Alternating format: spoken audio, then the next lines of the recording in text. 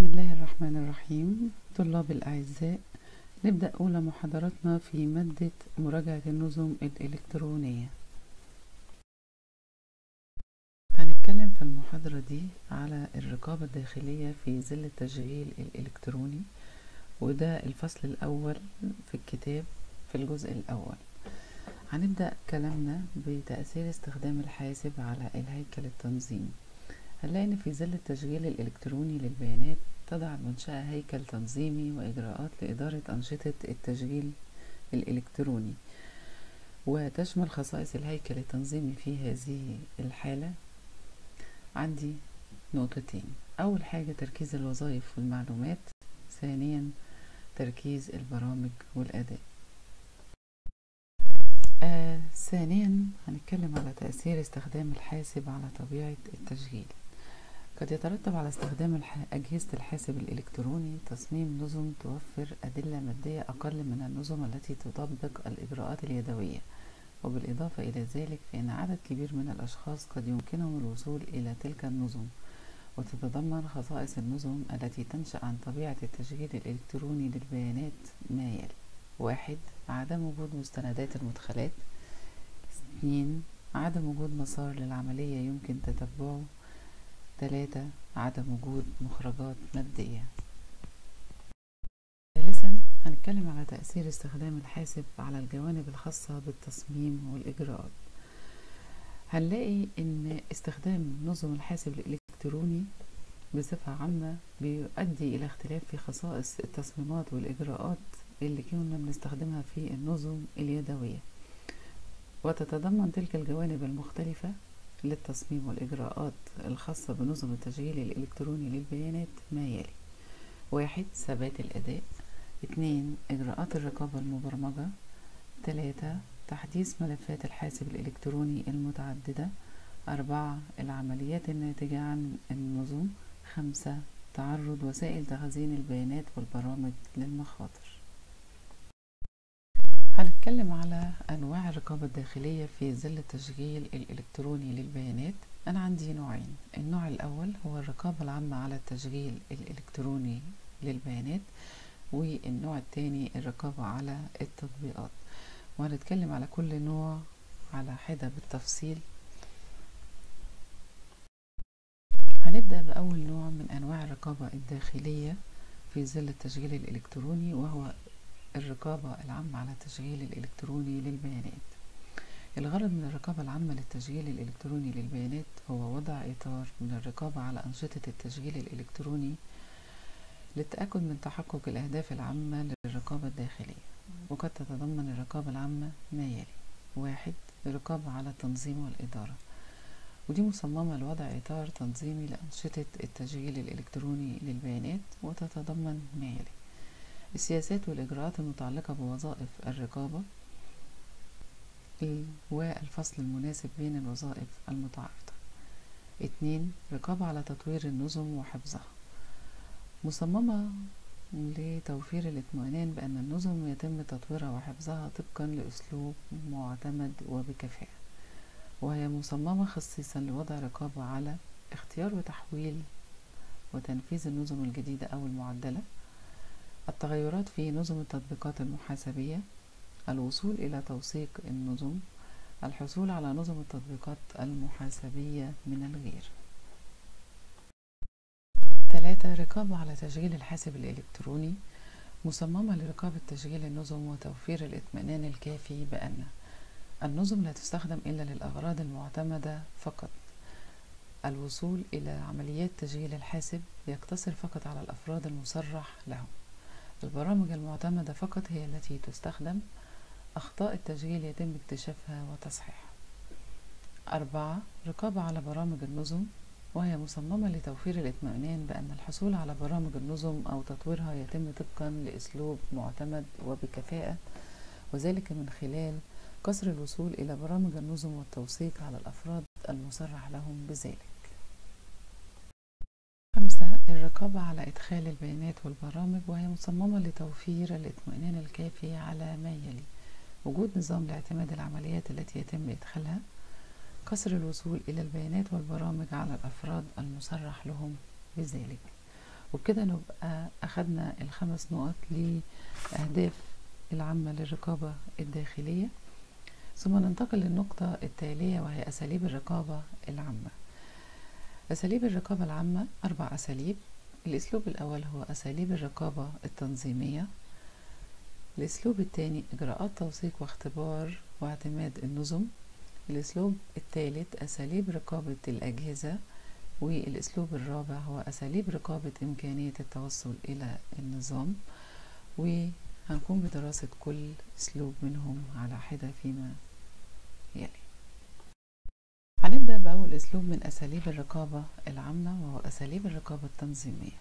ويعتبر هذا النوع من الأساليب الرقابية ذو أهمية كبيرة في الإشراف وتوزيع الاختصاصات على العاملين بمركز الحاسب حيث يجب أن تراعي المنشأة ضرورة الفصل بين الوظائف التي يقوم بأدائها العاملين بمركز الحاسب الآلي وتوزيع مسؤوليات تنفيذ الوظائف على عدد مختلف من العاملين. وفيما يلي موجز لوظائف مركز الحاسب الآلي الوظيفة الأولى وهي محللي النظم. تتمثل مهمتهم في تقييم النظم وتحليل احتياجات أقسام المؤسسة من معلومات كما يقومون بوضع مواصفات النظام التي تعد مرشدا لمعدي البرامج عند إعداد برامج الحاسب الآلي الوظيفة الثانية معدي البرامج. ودول تتمثل مهمتهم في إعداد برامج الحاسب طبقا للمواصفات النظام التي وضعها محللي النظم. ويقوم معد البرامج بكتابة البرامج وإعداد المستندات ورسم خرائط التدفق الخاصة بمعالجة البيانات. الوظيفة الثالثة وهي مشغلي أجهزة الحاسب الإلكتروني. وتتمثل مهمتهم في تشغيل أجهزة الحاسب الآلي طبقا للإجراءات التي يصممها محللي النظم ويحتوي دليل التشغيل على التعليمات والإرشادات الخاصة بطرق تشغيل واستخدام البرامج. الوظيفة الرابعة وهي معد البيانات لمعالجتها إلكترونيا وتتمثل مهمتهم في تحويل البيانات القابلة للقراءة إلى لغة الآلة استعدادا لإدخالها في الحاسب الآلي. خامسا والوظيفة الخامسة وهي أمناء المكتبة. وتتمثل مهمتهم في حفظ وحماية البرامج وملفات البيانات ووثائق النظم في مركز الحاسب والتي تعتبر ذات أهمية كبيرة للرقابة على عمليات تصميم وتعديل النظم واستخدام البرامج وملفات البيانات أثناء تشغيل النظم يوميا. الوظيفة الستة وهي فريق المراقبة ويلعب هذا الفريق دور الوسيط بين مركز الحاسب وأقسام وأقسام وإدارات المنشأة التي تستعمل خدمات الحاسب الإلكتروني. ويقوم الفريق بتتبع إشعارات الأخطاء التي تصدر من الحاسب الآلي خلال عمليات المعالجة وتوزيع مخرجات النظام على الإدارات وأقسام المنشأة المختلفة. وبعد تحديد المسؤوليات لكل وظيفة وفصل الاختصاصات ما بينهم هنتكلم على مزايا الفصل بين المسؤوليات الوظيفية. واحد تساعد على التحقق من دقة وشرعية أي تعديلات في النظام. اتنين إنها تحول دون استخدام برامج معدلة بدون موافقة مسبقة. ثلاثة تمنع غير المختصين من الوصول إلى الأجهزة والبرامج وخاصة هؤلاء ذوي الخبرة والمعرفة بالنظام. أربعة تؤدي إلى ارتفاع كفاءة الأداء نظرا لاختلاف الإمكانيات والتدريب والمهارات التي تتطلبها كل وظيفة. انتهينا من أول أسلوب من أساليب الرقابة العامة وهو أساليب الرقابة التنظيمية ونستكمل الأسلوب الثاني من أساليب الرقابة العامة وهو إجراءات توثيق واختبار واعتماد النظم وتعديلها. تقوم الكثير من المنشآت بإعداد ما يسمى بدليل معايير التوثيق.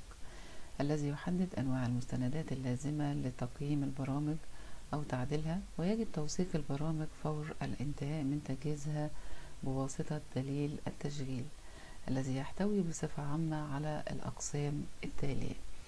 عندنا ست أقسام لدليل التشغيل ونشوف قسم قسم وظيفته إيه. القسم الأول وهو تعريف المشكلة. يحتوي ذلك القسم على شرح للعملية التي يتم معالجة بياناتها بالحاسب مثل عمليات استلام النقدية وحسابات العملاء والمبيعات بالأجل. القسم الثاني وهو وصف النظام. يوضح هذا القسم طريقة تصميم النظام ويجب أن يشمل على خريطة التدفق وجداول التقارير وكشوف بأشكال البيانات ويعتبر وصف النظام ذا أهمية كبيرة للمراجع ثالثا وصف ومنطق البرنامج. يوضح هذا القسم تفاصيل البرنامج ويجب أن يشمل على خرائط تدفق البرنامج وجداول التقارير ومواقع تخزين البيانات وتعديلات البرامج وعنوان البرامج وتفويض هذه المعلومات المراجع في التعرف على تصميم البرنامج وطرق استخدامه. رابعا تعليمات لمشغلي الأجهزة. ومنها تعليمات تختص بطرق استخدام البطاقات الأمامية والخلفية لتعريف ملف البرنامج وأجهزة تشغيل الأشرطة أو الإسطوانات اللازم استخدامها. خامسا قائمة أساليب الرقابة وتحتوي على وصف لأساليب الرقابة التي يتضمنها البرنامج نفسه والتي تشمل على الرقابة على المدخلات والمخرجات وعمليات معالجة البيانات. سادسا وأخيرا وهي إجراءات اختبار البرنامج. ويحتوي على كشف إجراءات تنقيح البرنامج التي قام بها محلل النظم. قبل الابتداء في استخدام النظام ويجب توثيق كافة بيانات الاختبارات التي استخدمها العميل في هذه العمليات وكذلك أي اقتراحات لمحلل النظم تخص تعديلات البرامج. نيجي للأسلوب الثالث من أساليب الرقابة العامة وهي أساليب الرقابة على الأجهزة. وتهدف أساليب الرقابة على الأجهزة إلى الحماية ضد حدوث الأخطاء في تداول البيانات داخل الأجهزة والتأكد من سلامة ودقة الأجهزة في معالجة البيانات. نيجي للأسلوب الرابع من أساليب الرقابة العامة وهو أساليب الرقابة على إمكانية التوصل إلى النظام. يجب على المنشأة التحكم في وسائل التوصل بأي من الأجهزة أو الملفات. كما يجب اتباع إجراءات التشغيل اللازمة لحماية الملفات والبرامج ضد احتمالات الضياع أو التلف أو سوء الاستخدام. وتتضمن هذه الإجراءات ما يلي. واحد أساليب رقابة دخول غرفة الحاسب. اتنين أساليب رقابة استخدام ملفات الحاسب. تلاتة معايير وصفية لعمليات تحويل البيانات إلى لغة الحاسب. أربعة أساليب رقابة تشغيل الأجهزة واستخدام البرامج من خلال جدولة عمليات المعالجة. خمسة حماية مادية للأجهزة والملفات من خلال الاحتفاظ بملفات احتياطية وتوفير أجهزة ومعدات الطوارئ وكذلك إعداد خطط إعادة إنشاء البيانات إذا ما تعرضت البيانات المستخدمة لأي خلل.